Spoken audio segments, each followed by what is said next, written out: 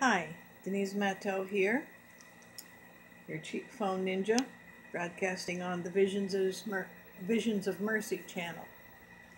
I'm continuing in this little series about um, murders, in this case, of young women.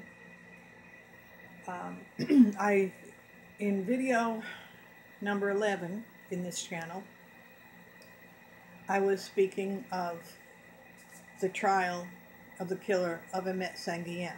Emmett Sanguien is the criminal justice uh, grad student from John Jay College of Criminal Justice who was murdered in New York in 2006.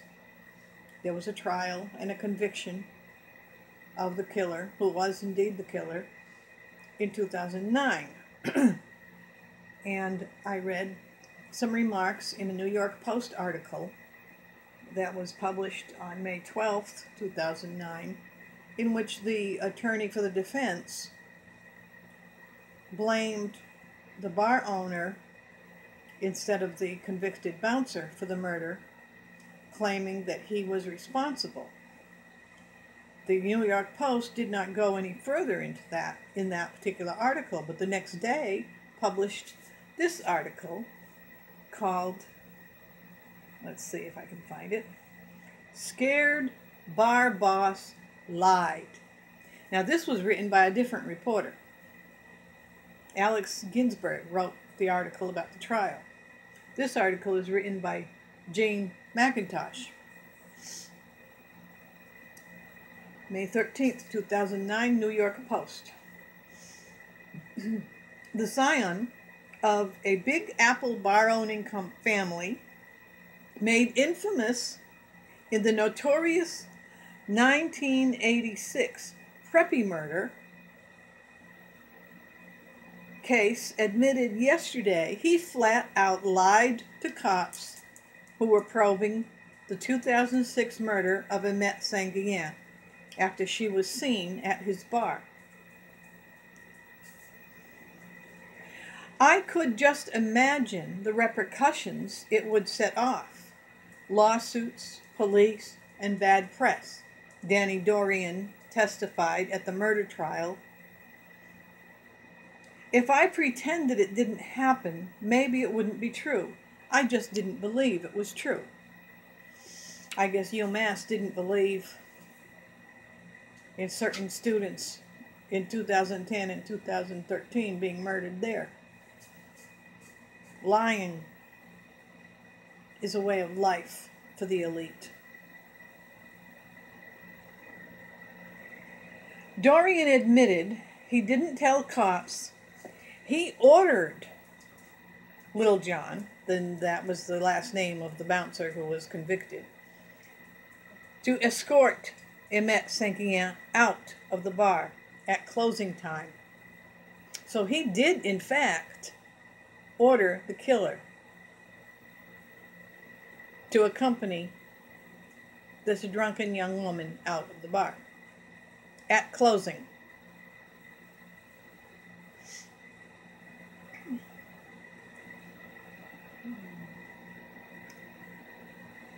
He had he said he didn't want to relive the scrutiny the family experienced after Levin's murder in 1986. So they have experience in this. Dorrian initially told cops he didn't remember seeing her at the falls, that's the name of the bar, on the night of her February murder. Frankly, I didn't want to get involved, he added. Looking puffy faced and ill at ease on the stand, Dorrian testified that he only decided to come clean a week later after cops pored over the bar seeking evidence for 12 hours. Dorrian called his father and asked how to handle it. It looks like there's a situation down at the falls, and it looks pretty serious. A young lady was murdered, and I think the police should look at my doorman because they would be the last people to see her alive, he told his father, Jack Dorrian. But even after his father and his brother in law, Anthony Carbonetti, who was chief of staff under Mayor Rudy Giuliani. See, this is the situation you have, just as in my daughter's death. My brother was chairman of the Windham Commission in Vermont. He's retired now, but he's very close to Howard Dean. My family can get away with murder. And my family felt threatened because I didn't cooperate with certain things that their political friends in Massachusetts wanted me to do. I wouldn't look the other way. I wouldn't get involved. I didn't intend to speak up. I didn't even really understand what was going on. I knew it was wrong and I didn't want any part of it. It was moving money, political money. And I had a nephew who got away with murder in 1981. The elite are experienced at this, and lying is a way of life. And when a member of the elite or somebody who works for, is employed by, or is somehow a customer in a bar owned by the elite, isn't part of that lying culture, they just kill them and they get away with it. Back to the New York Post.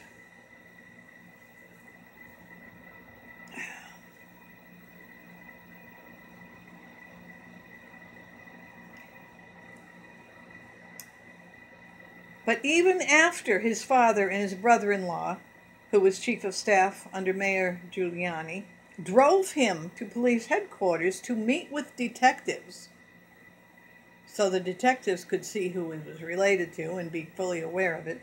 Not that they didn't know.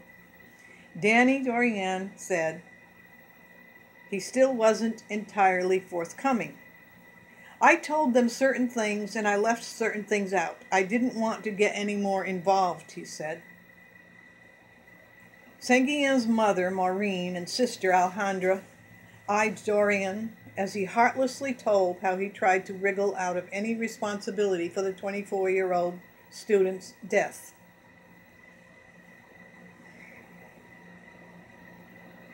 Dorrian said he knew very little about Littlejohn's background when he hired him, and he didn't care. He paid him a $100 a shift. I thought he was in law enforcement.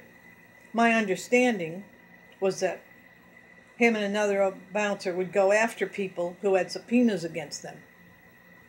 They'd go out and hunt down people in trouble with the law. So he knew he had hunters, he had predators. He deliberately hired predators.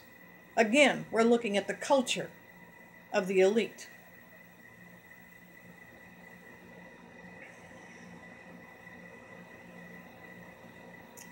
Uh, I won't go into the details of what that monster did to young Imette.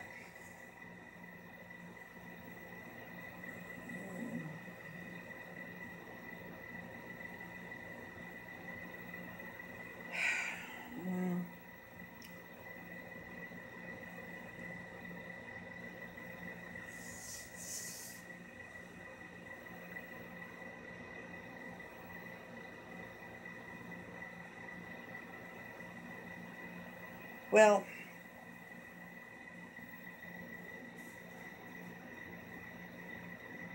Dorrian says he is now unemployed and lives off his father's wealth.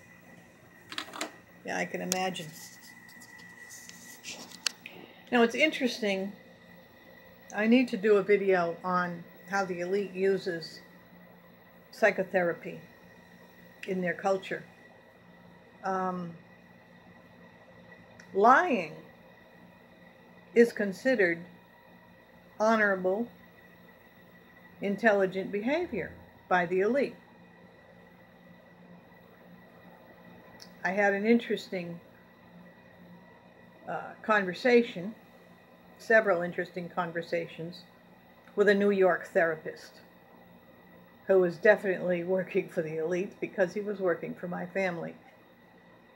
And I had achieved the dubious honor or victory of having my ex-husband ordered into therapy, but in order to do this, the whole family had to go into therapy, which was fine.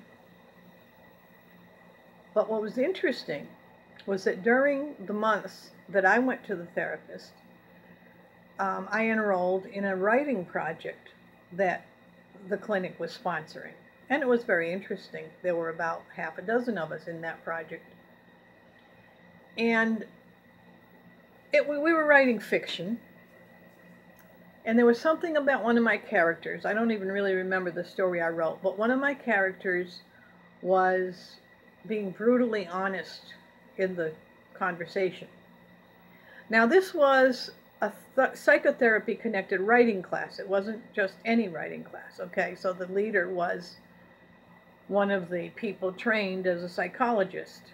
Although I found out later he had no degree in psychology and he was basically hired on because he was a friend of the psychologist who ran the clinic. And his buddy needed a job, so he said, Yeah, you know, teach a writing class for the nutcases. But what was interesting was that man began to criticize my story on the basis of a weird obsession with being honest. And he characterized it as if I came from some bizarre, primitive Native American culture, which struck me right across the face because, as a person of French Canadian descent in New England, the French Canadians and the Native American cultures are highly intermixed. And honesty, brutal, complete, and total honesty, is characteristic of both cultures. And I defended that and in fact pointed out to the the class teacher what he had just said to me was well it was not only highly offensive but it was also actually a compliment that I was being true to my heritage. And what was interesting was that teacher became so angry that he spoke to the clinician about it, the one who was in charge of the family therapy, who asked me what I had said. And apparently, because I stood up to this man and I said something about Jewish culture, because the man was Jewish, and I said, you know, if I said anything about Jewish culture, you'd feel the same way. I said, and I don't understand. Maybe in your culture, lying is part of what you do, but it's not part of what we do, and I won't change it. Well, that became listed as a psychopathic level of anti Semitism. And at that time, I was not anti Semitic. I didn't understand, in fact, the cultural meaning of lies. And really, it was the New York elite culture of lying and the psychotherapists who come out of that culture promote lying. Lies, deceits, and murders, the culture of the American elite. And read that article that I just read to you. I'm going to put the link in the description, the New York Post. It wasn't just a chance accusation that a desperate defense attorney made about her client's boss being partly responsible for the murder of Imette St. Guillen. He was extremely responsible for the murder of Imette St. Guillen. And he and his family, for them, it was just business as usual. Denise Matteau, Visions of Mercy. And please remember, our only way to fight all of this is prayer. We can speak out. We can cry for justice. We can cry for prosecution, investigation, and justice. But ultimately, prayer is the only thing that'll get us through. God have mercy on us all. Over and out.